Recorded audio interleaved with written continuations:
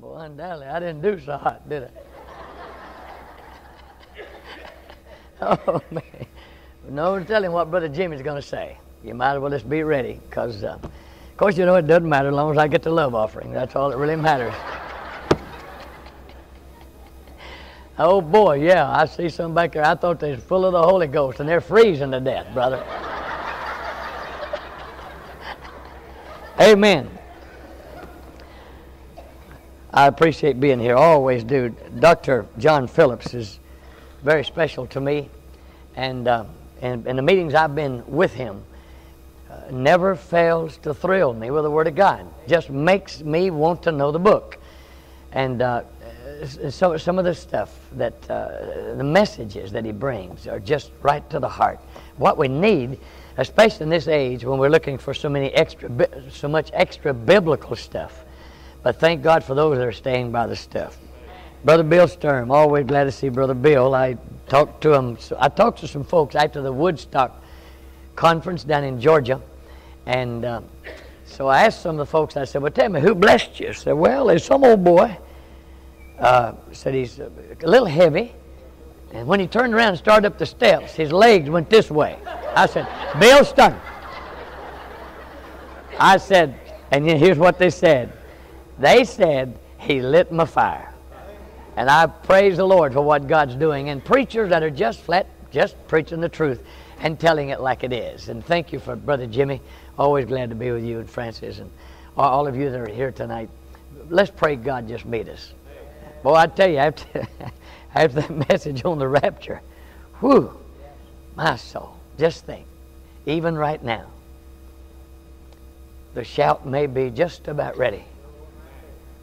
I may never see Chattanooga, Tennessee again, but who cares? If I can see Jesus. Thank you, Dr. John. I love you, brother. Very, very special man of God. Ed Greg, I love you, brother. I'm glad to see you. Amen. Know you're walking through the storms physically, but I want to tell you, you blessed my life. And I'm glad to see you. Amen. Thank God for the people. And I tell you, as you get older, brother, you, you, you don't forget the people that's blessed you and touched your lives. Amen. All right. Well, where, where am I going tonight? Turn to Isaiah chapter 64, the 64th chapter of the book of Isaiah. I guess I'm tired of these fellas repronouncing these books for me after I've some fellow tonight said it. I said I'm preaching from Habakkuk, and so I was informed that it's Habakkuk. I said, sound like a KKK to me. Just leave me alone. I want to say it like I want to. It's Habakkuk. So I, then the other day I was preaching on the little book of Philemon, and a fella came up and said, Man, you need to learn your pronunciation. I said, Well, what is he? He said, Philemon. I said, My soul, that's the first one. We got some great scholars out there pronouncing these words. But anyway, I'm going to call him Isaiah, and you can say what you want to. All right? I Isaiah, I really don't care if you don't know the truth. Isaiah 64, and I believe here's the heart cry of what this meeting is all about and what we're all here for, and especially when we hear the message on the second coming whether we have revival or not, the rapture will be revival for the saints of God. And people sort of critical of us who believe that there is a possibility that if America repents and the world repents and turns back to God, God could bring revival around this world. Whether it'll happen or not, I do not know, but I'm going to preach like it can. And uh, after all, I believe many times we fail to see that God is so sovereign that in any given time He can move where He wills and turn things around. I just read the other day on J. Edwin Orr's book about the meeting in New England states of years ago and some things I did not know. And we'll talk about them in just a little while. All right, Isaiah 64. Oh, that thou wouldst rend the heavens, that thou wouldst come down, that the mountains might flow down at thy presence. As when the melting fire burneth, the fire causeth the waters to boil to make thy name known to thine adversaries, that the nations may tremble at thy presence. When thou didst terrible things which we looked not for, thou camest down, the mountains flowed down at thy presence. And for the sake of time, if you will, as far as I'm going to read, but we'll deal with the whole chapter as Isaiah talks about the, the theme of his heart, the cry of his heart. Oh God, if you would just come down where the mountains can flow down, and even the adversaries will know who you are and nations will tremble at thy presence. In the first chapter of Isaiah, I think we get a glimpse of some of the things that Isaiah was preaching. And I'm going to tell you something, folks. In this generation, the hardest thing to be is to be an oddball opposite of the spiritual decoys that are being put out today called churches, that are being built around what people want to hear and what people want to see. And they're coming by the droves because they found him a country club, a CEO, not a prophet of God who stands for truth.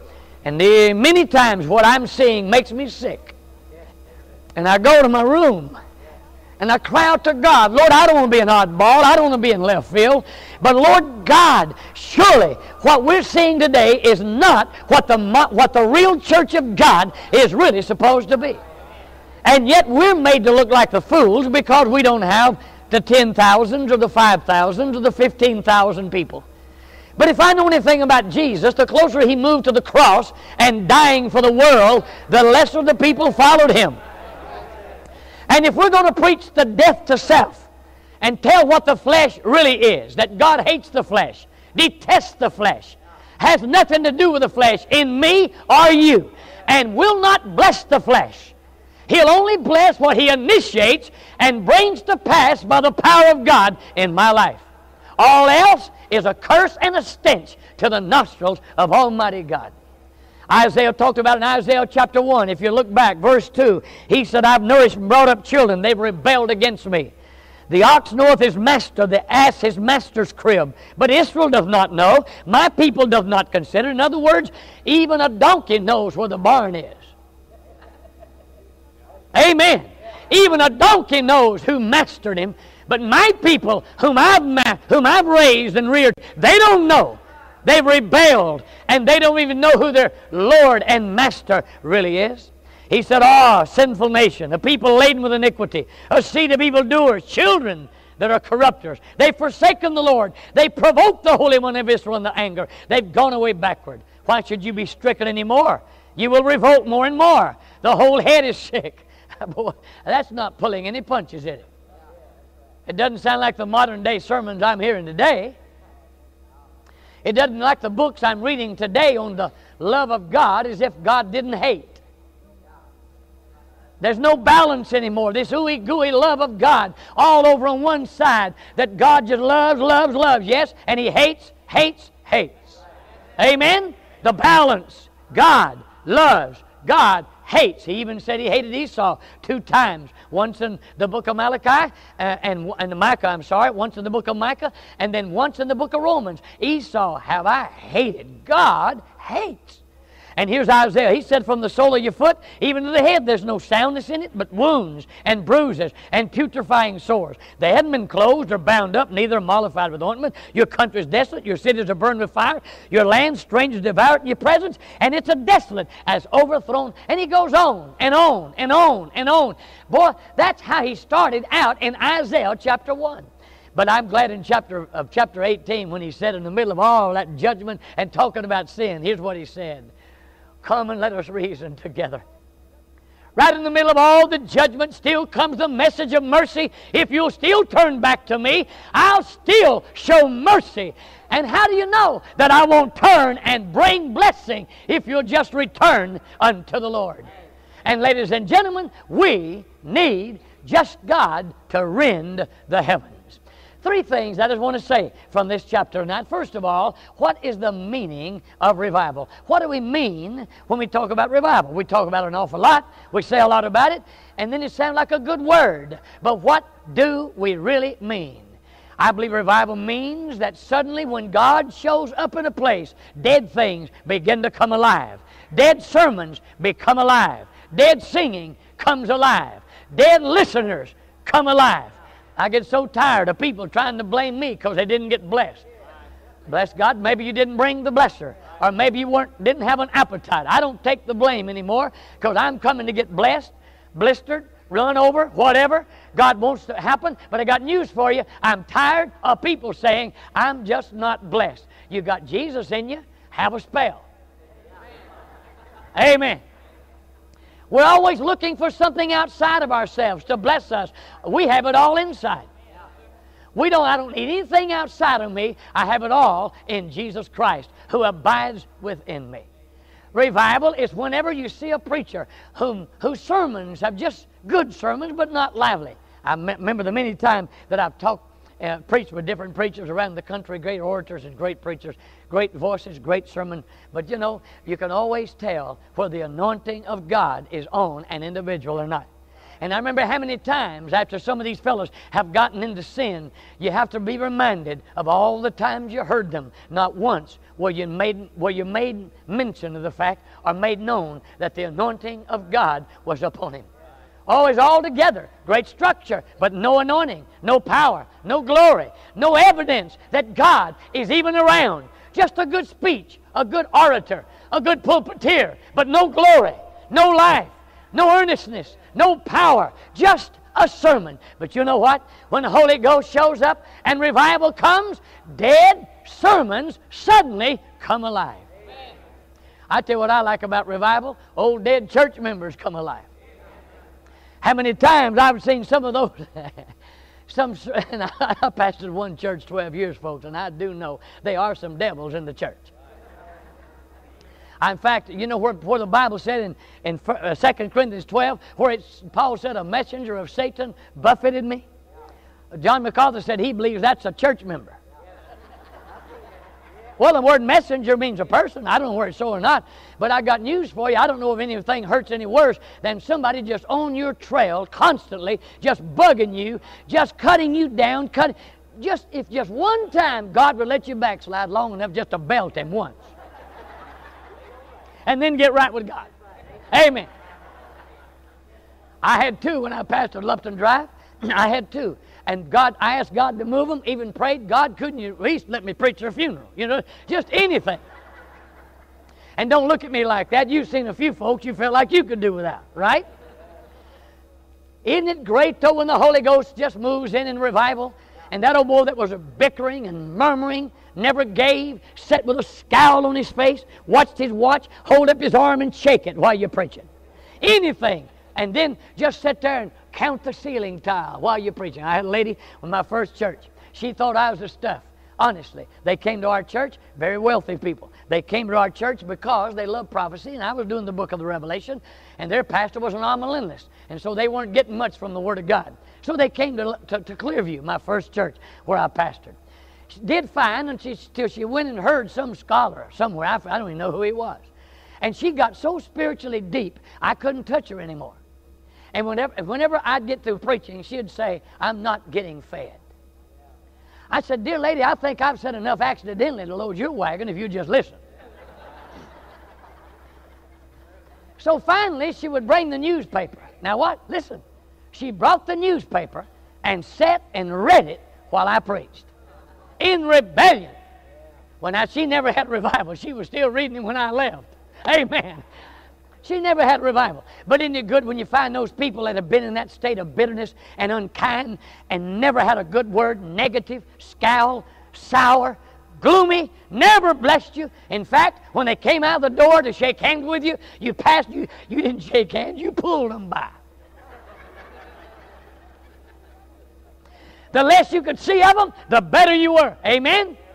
But oh, isn't it good? When meaning of revival is when God shows up and all of a sudden zaps that old oh, boy. And he comes down the aisle and says, My God, I've been wasting my time. I'm not what I used to, I'm not what I used to be. When I got saved, I loved God, but I got bitter. I got resentful. Preacher, I hadn't even loved you. I didn't like your sermons. I didn't like anybody. Wasn't just mad at you. I just hated anybody that acted like they were happy because I was so miserable.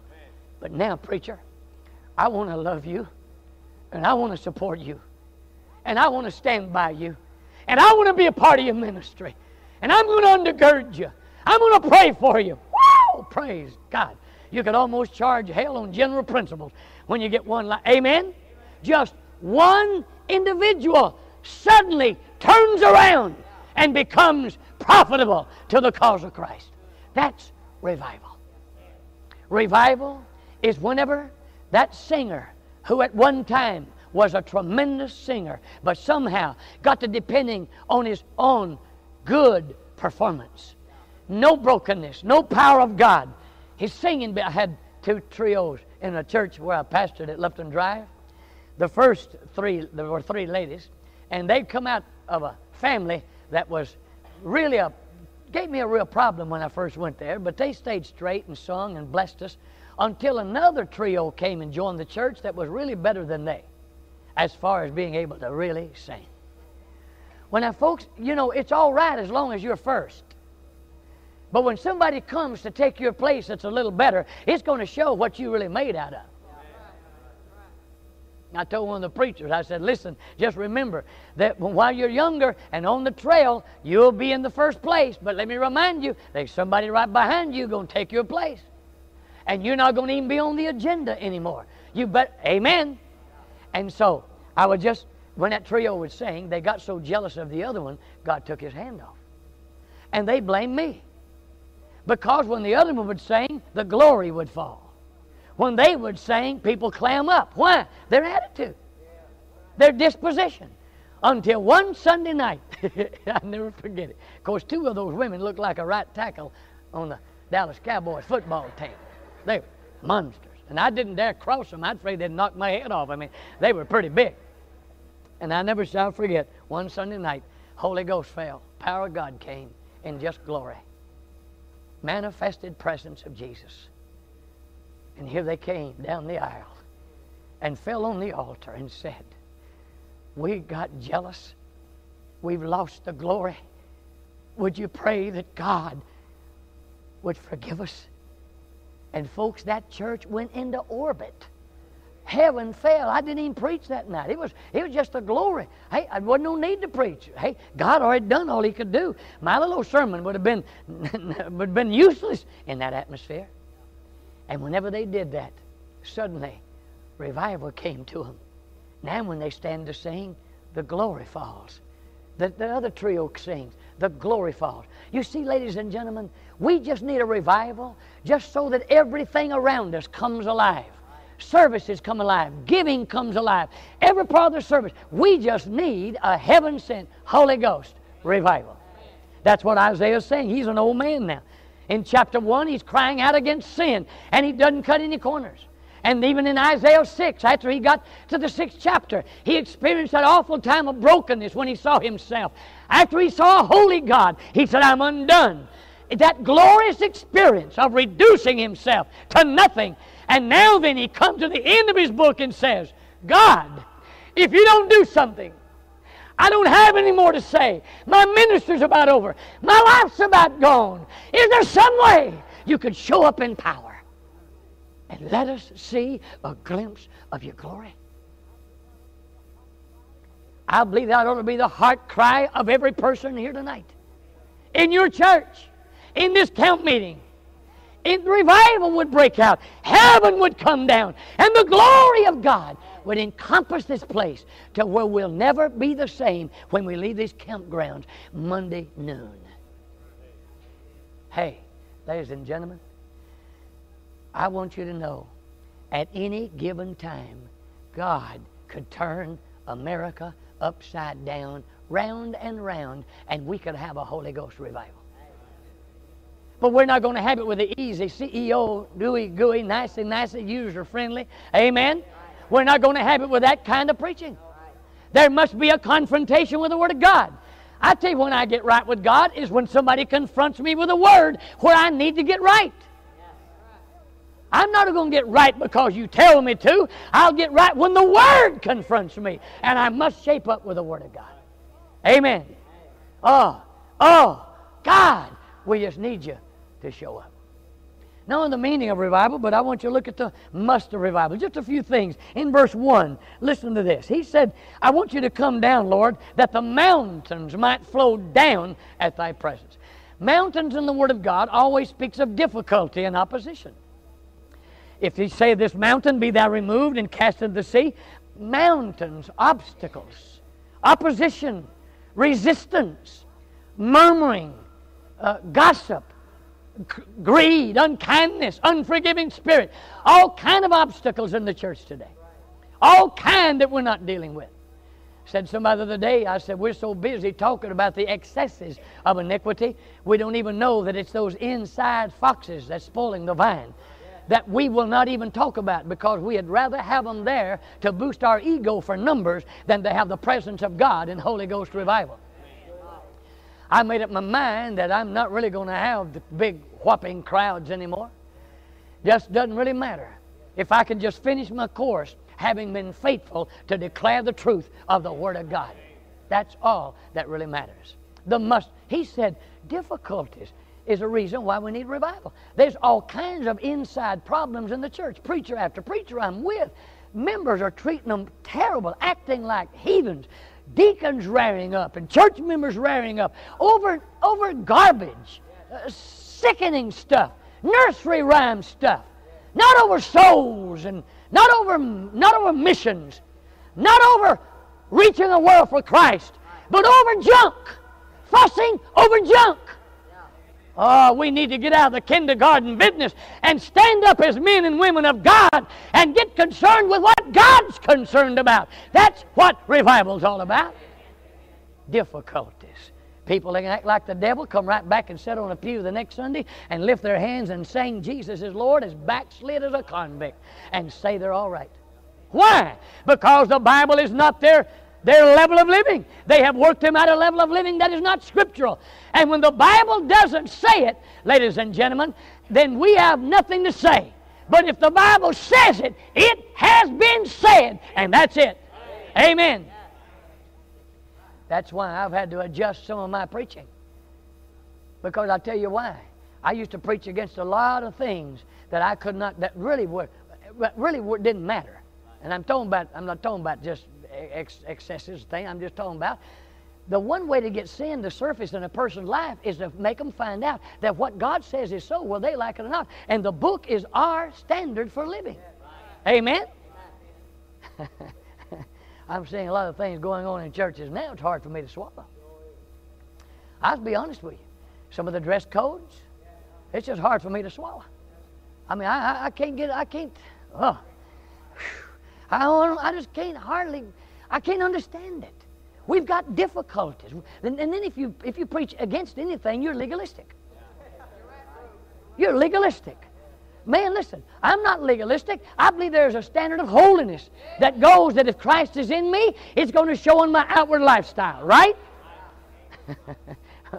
oh, Lord.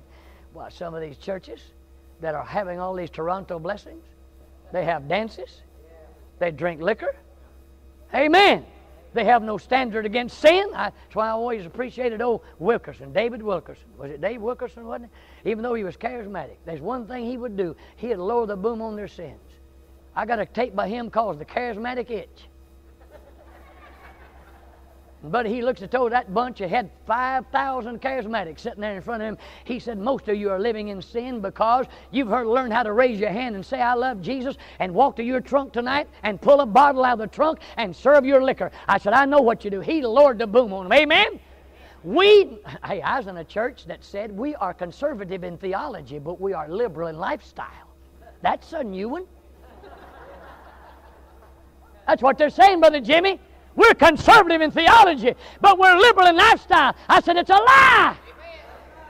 You may say you are in your head, but it's not in your heart. And we're just 18 inches from revival. Amen? in fact, I was in one of those churches, rich church. Sunday morning, I was preaching away. I didn't know that they served uh, champagne at weddings and served champagne at church events. I didn't know it, wouldn't care if it did. And I was preaching away that morning, and I said, A dram drinker is as much akin to a drunkard as a pig is to a hog. Give him time, he'll make one. Woo! Now, if I was preaching for an offering, I did the wrong thing. And if I was preaching for a crowd, I did the wrong thing. But that's what we that's what we're facing today. Difficulties. We want to see the world change, but let me live like I want to. I want revival, but don't bother me. I want my schools to have a turning back to God, but leave me out of any encounter or facing people. I want revival as long as I don't have to be interrupted. That's where we are. Difficulties. Then only that, he said, we've sinned. Just the word sin. Look in verse 5. He said, we have sinned. Just the, oh, the bottom of where he says continuous. Just about, for we have sinned. Well, Lord, that's a word you don't hear much anymore. Uh, n- nothing matters. Everything's all right. Uh, no sound preaching against sin. The word's hardly brought up. It's been accepted now that we just God just loves us. Do the best you can. And I'm going to tell you, a lot of this stuff is being put on TV to draw the youth is nothing but glorified flesh sitting there saying, I want you to know God made me quit dope. God ain't interested in you quitting dope. He's interested in you getting right with God. You get right with God, you quit it all. And then they said, and I say, God's going to help me. God can't help us. He ain't got nothing to work with. Man centered gospel. Humanistic. That's why in all the meetings that they're having with the government now, they're having a lot of Eastern mystic religions to show up. And even Farrakhan, we're afraid to say anything about him. Amen. And also, let me tell you, also, we're having a lot of the New Age movement meeting with our government officials now under the guise of their religion, but they're not having any fundamentalist, Bible believers, Christian. You know why? We're a problem. We won't go along. We're intolerant. Well, we are. We're as intolerant as the Word of God. Sin is sin. God, help us to cry aloud and spare not and lift up thy voice like a trumpet and show the house of Jacob their transgressions, Isaiah said. I don't care. I'm not going to be on no who's who. And they're not going to put no accolades on me because I ain't ever amounted to nothing. But that really don't matter. If I've only amounted to what God wants me to be and be faithful in preaching, God, could you just show up? Oh, you say, but he's here. Oh, I know he's in us. But I mean that moment when the holy presence of God sits down to where people fall on their face singing, Oh, Hail the power of Jesus' name. Awesomeness of God is a missing thing today. What's man going to get out of it? What's God going to do for me? How's He going to make me prosper? Is He going to make me healthy? Oh, if Jesus will come and do all that, I'll go with Him. That is not it, folks. Amen? This sin. We've sinned. Then another reason why that we must have revival in verse 7. There's none that called up, upon thy name. Not many people stirring up themselves to take hold of thee. You've hid your face from us and you've consumed us because of our iniquity. And here's what Isaiah is saying. There ain't just ain't nobody laying hold of you anymore. No intercession. No concern, no brokenness, no tears, no midnight cries of moms and dads and grandfathers. We've about accepted the fact that our grandkids are pretty good kids and they're going to get saved somewhere down the road. But, ladies and gentlemen, I got news for you. All of this usually happens when somebody lays hold of God and won't turn loose until God tracks that grandson down and hems him up and won't let him out till he gets saved. I've seen revival break out when 10 and 12 year old children would come to the altar praying for a drunken dad and pray with such sobbing tears and go home so broken that th- through that kid's prayers and brokenness, I'm talking about years ago, little old kids. But now you can't hardly get anybody on the altar. We're all fine. We're all doing well. It's everything going to be all right.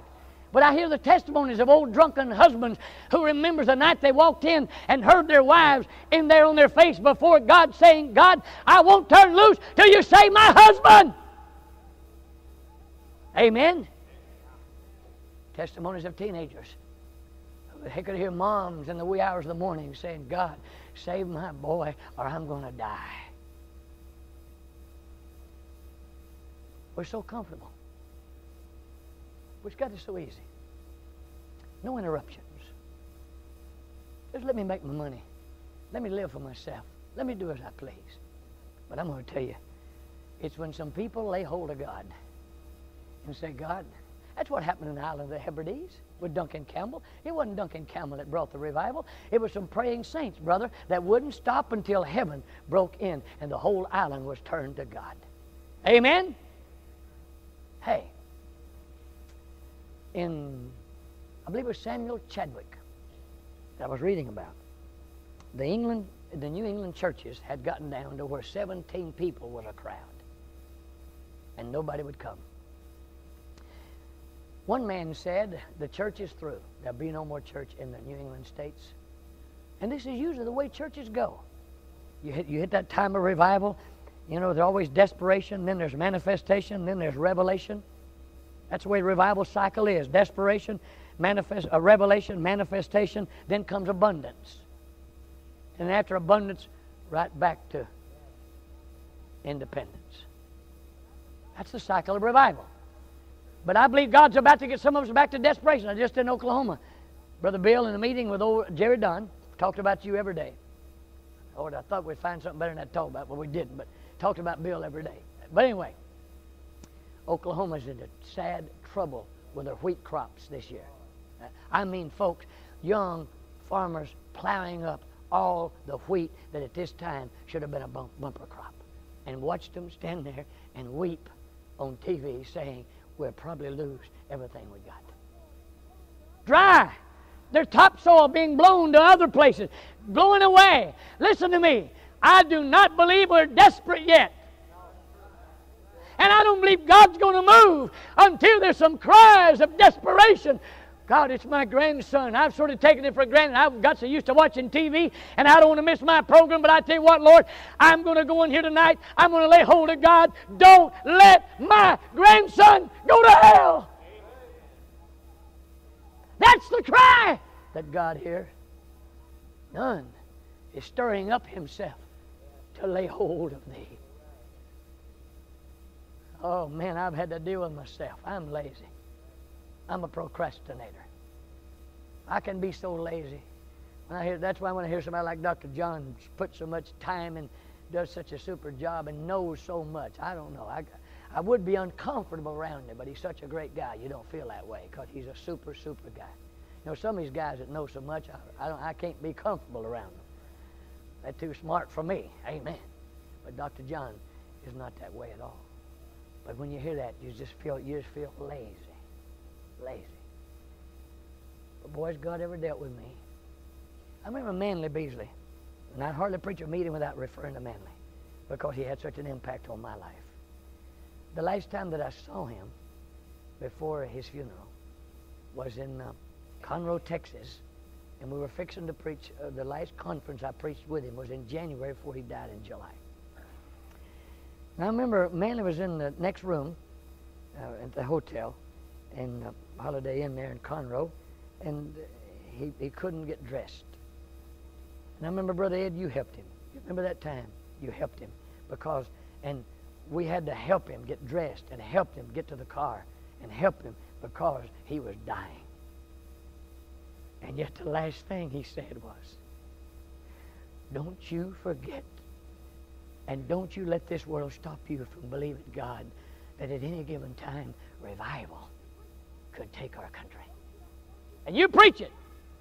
And don't you don't you don't you back up. You stay by it. So they'll laugh at you, but I'm going to tell you, the more desperate a nation gets, the more we need the message of revival and the second coming. Amen. By the way, folks, if revival doesn't come, I'm not going to be discouraged. Who's going to be discouraged when you're going to take a plain air ride and just get plumb out of here? Amen. Who worries about it? You say, well, do, do, you believe it could happen? I believe at any given time God could sweep our nation. I believe He could zap President Clinton in the Oval Office. I believe He could. If we'd hold on to God. Amen? But we're too busy fussing, grumbling, complaining, griping about the economy. Hey, folks, it's going to get worse. It's going to get worse. And if you think these are bad days, you, thank God I'm 63. My, I don't know how much longer I got. But for some of you youngins, I feel sorry for you. I do. It's going to get worse. You say, you're a pessimist. No, God just says it is. You can crusade till you drop dead. It's going to get worse. We must have revival because nobody's laying hold of God. And then another reason why we must have revival. Look here in verse 10. The holy cities are a wilderness. Zion's a wilderness. Jerusalem, the desolation. Our holy and our beautiful house where our fathers praised these burned up with fire.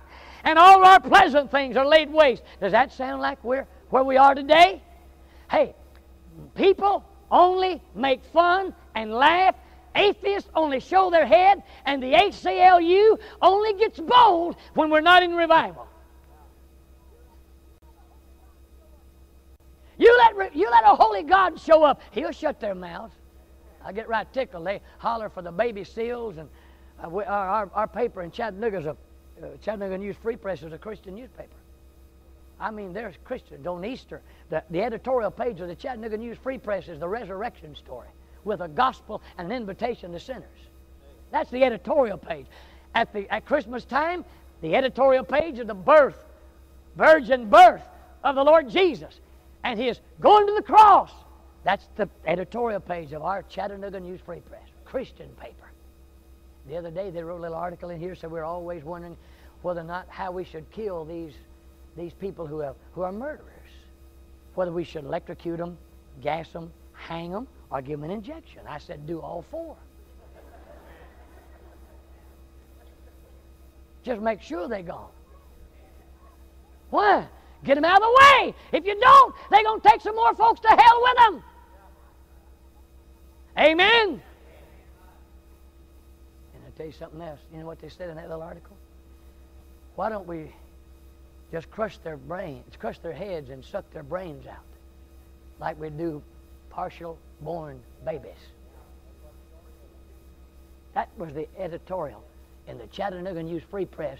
Why don't we just crush their heads and suck their brains out. That's how we're killing our babies. You believe that's a good paper? Y'all ought to subscribe for it. Amen. I'm telling you, they lay it on the line and they take no liquor advertisement. Haven't in all the years they've been in Chattanooga, have never taken one liquor advertisement. And they've made more money than the Chattanooga Times owned by a bunch of unbelievers. I won't even drive by that place. I'll go around the block to avoid the Chattanooga Times. Church is desolate. We're moving every way we can to get a crowd, except revival. The mandate of revival is the last thing, and I'm through. Look at this. First of all, there's an agonizing passion. Listen to Isaiah. Oh God! Can you hear his heart? Can you hear his very emotion? And I'm going to tell you something, folks. The closer we get to the end time, the more it's going to take everything we've got to stand true to the Word of God. It's going to take all the emotion, intensity, and agony of spirit and heart. We are never going to see any better days than we're seeing now. And to stand up and lift up your voice like a trumpet is going to be warfare and tiredness and weariness. But oh, for the glorious privilege of honoring God till we die. Listen to him. Can you hear him? Oh God! Would you rend the heavens? I'm an old man now. The nation is still desolate. They hadn't heard me. But if you could just show up, rend the heavens, and just come down in awesome glory, that even the adversaries will know your name and the nations will tremble at your presence.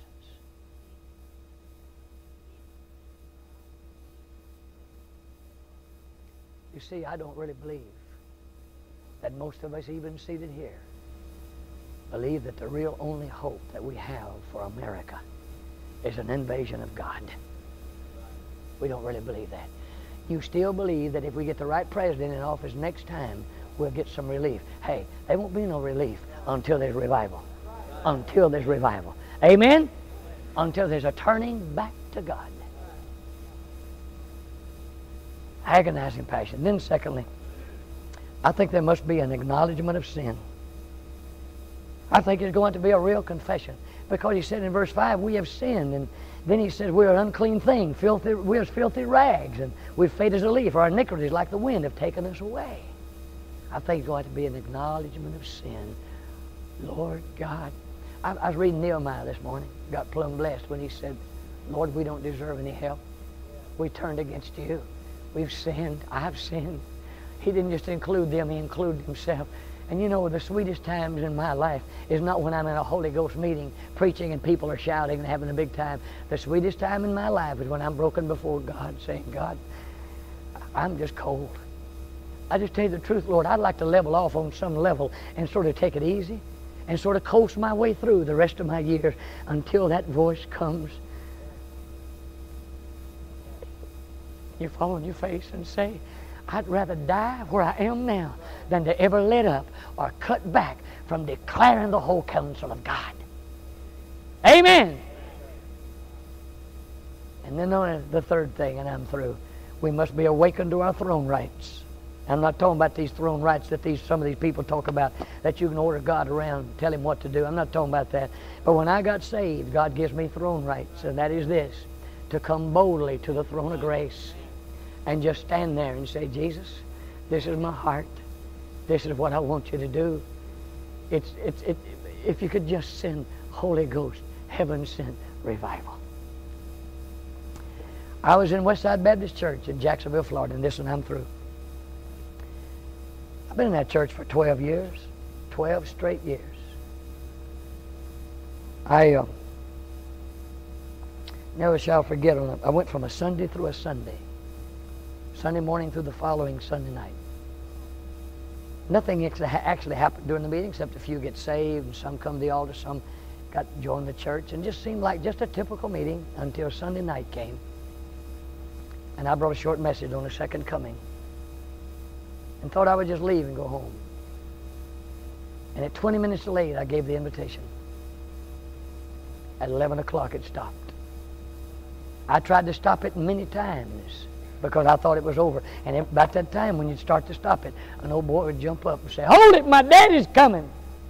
He's coming to get saved. And he'd have his dad coming down the aisle. And that went on for those two hours and 20 minutes and 187 people. If you don't believe that, call this number 904 781 0618. Double dog dare you. Call them and ask them. You say, why do you do that? A lot of preachers just give out statistics.